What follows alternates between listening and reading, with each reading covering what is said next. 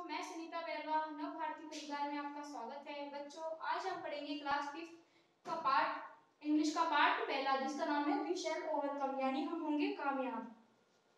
Recite the given lines with your teacher बच्चों, अब हम इसे दोहराएँगे, यानी हमें इसे अध्यापक के साथ पढ़ना है, हम इसे दोहराएँगे इन लाइनों को। हम होंगे कामयाब, हम होंगे कामयाब, हम होंगे कामयाब एक दिन, यानी कि हम कामयाब हो जाएँगे हमारा, हम एक दिन। हो हो मन में है विश्वास, पूरा है विश्वास, हम होंगे कामयाब एक दिन। यानी कि हमारे विश्व, हमारे मन में विश्वास है पूरा, हम एक दिन ज़रूर कामयाब हो जाएँगे।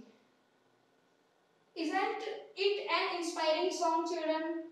कि यह बच्चों एक प्रेरणादायक कविता या एक गीत, प्रेरणादायक गीत नहीं है।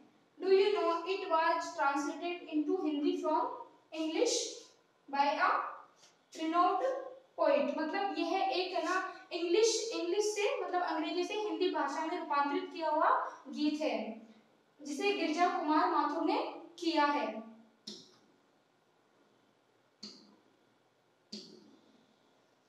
Let's read and sing the English song here और जो इंग्लिश में ये कविता है, वो इस प्रकार है, अब हम इसे पढ़ेंगे।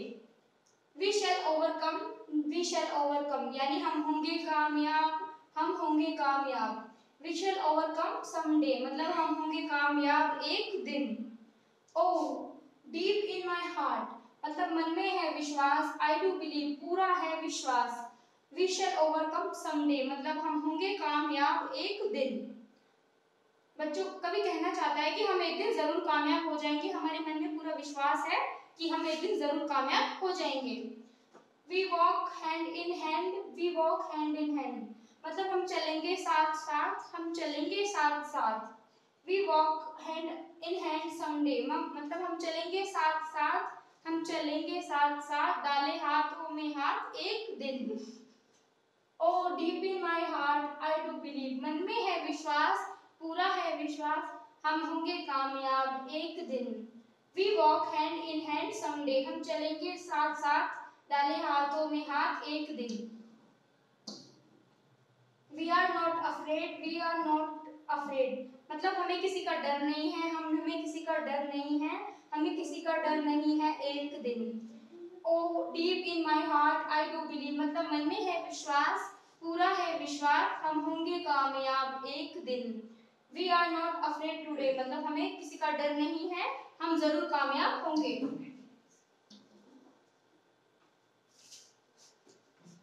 आगे बढ़ते हैं बच्चों? The truth shall make us free मतलब सच हमें स्वतंत्र कर देगा। The truth shall make us free मतलब सच हमें, जो सच्चाई है वो हमें स्वतंत्र कर देगी। The truth shall make us free someday और जो सच्चाई है वो एक दिन हमें मुक्त कर देगी, एक दिन। मतलब कवि कहना चाहता है कि कि सच हमें स्वतंत्र कर देगा, सच हमें स्वतंत्र कर देगा, और सच हमें मुक्त कर देगा, यानी स्वतंत्र कर देगा एक दिन। ओ डी ओ deep in my heart I do believe मन में है विश्वास, पूरा है विश्वास the truth shall make us free someday और जो सच है, यानी कि जो सच्चाई है, वो हमें एक दिन फ्री यानी कि मुक्त कर देगी एक दिन. We shall live in peace we shall live in peace यानी हम शांति में रहेंगे, हम शांति में रहेंगे we shall live in peace someday हम शांति में रहेंगे एक दिन. Oh deep in my heart ओ मन में है विश्वास आई डू बिलीव पूरा है विश्वास. We shall be live in live in peace someday मतलब हम शांति में ज़रूर रहेंगे एक दिन। हम हम ज़रूर कामयाब हो जाएँगे बच्चों। इस कब, आज हमने पढ़ी फिफ्थ क्लास की कविता जिसको है वी शैल ओवरकम यानी हम होंगे कामयाब। बच्चों कवि इस कविता में क्या कहना चाहता है? और ये हमें प्रेरित यानी इंस्पायर कर रहा है कि हम एक दिन ज़रूर कामयाब हो जाएँगे। हम एक दिन ज़रूर शांत रहेंगे यानी कि जो लड़ाई झगड़ा होता है या हम जो जो शोरगुल है इससे हम दूर रहेंगे। और ज़रूर हमें एक दिन शांति मिलेगी। और और हम एक दिन शांत रहेंगे झगड़ा नहीं होगा हम एक शांति की जगह पहुँच जाएँगे और एक दिन हमें सच जो सच्चाई है वो हमें स्वतंत्र कर देगी मुक्त कर देगी। हम झूठ से बुराइयों से मुक्त हो जाएँगे। और कवि सबसे प्रे, मतलब प्रेरित करते हुए कहता है कि हम एक दिन ज़रूर कामयाब हो जाएँगे। हमें हम एक बार कोशिश कर करके हारेंगे और फिर हम एक दिन ज़रूर कामयाब हो जाएँगे। तो बच्चों आज हमने पढ़ा वी शैल ओवरकम यानी हम होंगे कामयाब पार्ट और हमने इससे क्या सीखा? कि हमें हमेशा कोशिश करते रहना चाहिए, कभी हार नहीं माननी चाहिए और हम एक दिन ज़रूर कामयाब हो जाएँगे। तो चलिए बच्चों, अब इसके शब्दार्थ करते हैं ग्लोसरी यानी कि शब्दकोश। ओवरकम यानी कि हम होंगे कामयाब, यानी कामयाब होना। Success success in dealing with a problem difficulty यानी विजय पाना यानी कि एक किसी प्रॉब्लम के साथ या किसी मुश्किल के मुश्किल के ऊपर विजय पा लेना यानी कि सक्सेस हो जाना। अफ्रेड यानी feeling fear of anxiety frightened यानी भयभीत, यानी कि किसी डर। जो डर है, वो एक दिन खत्म हो जाएगा और हम एक दिन ज़रूर कामयाब हो जाएँगे। Hand in hand holding each others hand एक दूसरे के हाथ में हाथ थामे हुए, यानी एक दूसरे का हाथ पकड़कर चलना। बिलीव यानी कि विश्वास। To think that something is true correct और रियल विश्वास करना। मतलब हमें किसी की बात पर विश्वास करना। पीस यानी शांति। A period of time when there is no war और violence and people live happily यानी पीस यानी शांति।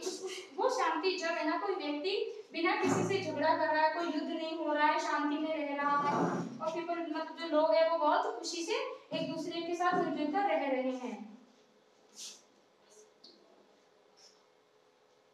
तो बच्चों अब हम इसके एक्टिविटी क्वेश्चन करते हैं। बच्चों करते हैं। Fill in the blanks with suitable words from the box हमें ना इन बॉक्स में जो है ना सूटेबल वर्ड्स दिए हुए हैं बहुत सारे। हमें इन वर्ड्स में से छांटकर इन चारों को फिल करना है, इन ब्लैंक एरिया को भरना है। पहला है I always speak in the मतलब हमें हमेशा सच बोलना चाहिए। तो यहाँ पे क्या आएगा? ट्रूथ यानी सच्चाई। सच। सेकंड है in the tricolour tricolour white colour stand for मतलब जो तिरंगा होता है, हमारा राष्ट्रीय जो ध्वज होता है, उसमें जो सफ़ेद कलर होता है, वो किसका संदेश देता है? पीस यानी कि शांति का संदेश देता है। तो हमारा हमारा जो ट्राई कलर यानी कि जो तिरंगा राष्ट्र ध्वज होता है उससे उसमें जो सफ़ेद कलर होता है वो पीस यानी कि शांति का संदेश देता है।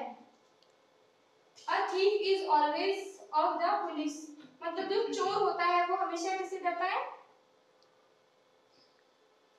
अफ्रेड मतलब डरा हुआ रहता है किससे पुलिस से। तो a thief is always afraid of the police मतलब चोर हमेशा पुलिस से डरता है। With confidence we can our fears मतलब हमेशा हमें अपने डर से मतलब डर को हरा देना हरा देना चाहिए। हम हमारे डर को एक दिन हरा देंगे, हम कामयाब हो जाएँगे तो ओवरकम यानी कि कामयाब होना। तो बच्चों, आज हमने पढ़ा है फिफ्थ क्लास की इंग्लिश का फ़र्स्ट चैप्टर जिसका नाम है वी शैल ओवरकम हम होंगे कामयाब। अगली वीडियो में, अगली क्लास में मिलते हैं अगले चैप्टर के साथ। Thank you so much